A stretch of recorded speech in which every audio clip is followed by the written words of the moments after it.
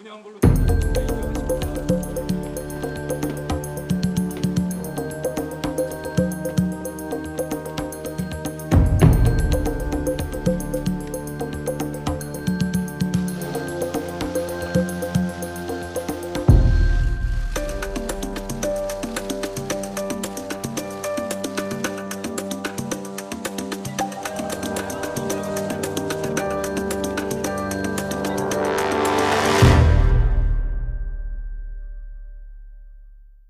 네, 안녕하십니까. 김현우입니다. 더 많은 뉴스와 라이브 이벤트를 보고 싶으시면 예, 여러분 보시기에 이 화면 오른쪽을 눌러서 구독해 보시길 바라겠습니다. 또 저희 SBS 앱을 다운로드 하시면 속보 알림도 받아 보실 수 있습니다.